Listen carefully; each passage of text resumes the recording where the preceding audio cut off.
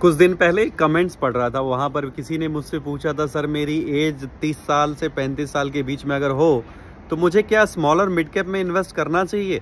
तो जवाब है, आपको स्मॉल और मिड कैप में इन्वेस्ट नहीं करना चाहिए। आपको कम से कम मिड कैप में अपना 30 परसेंट कैपिटल तो ज़रूर रखना चाहिए, ताकि मार्केट में जब तेज़ी आए और जब बुलरन स्टार्ट हो तो उस बुलरन में आपका पोर्टफोलियो स्मॉल और मिड कैप की वजह से थोड़ा सा बैलेंस रहे और सेफ्टी से आप पैसा बना सको।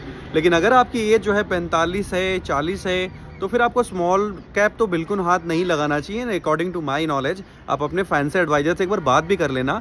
लेकिन अगर आपकी एज ज़्यादा है तो स्मॉल और मिड कैप ना लेने का रीज़न ये होता है कि आपके पास मार्केट में जब किसी वजह से, किसी टेम्परेरी रीजन की वजह से कोई क्रैश आया, कोई गिरावट आई तो आपके पोर्टफोलियो को रिकवर करने के लिए पर्याप्त वक्त नहीं होता है।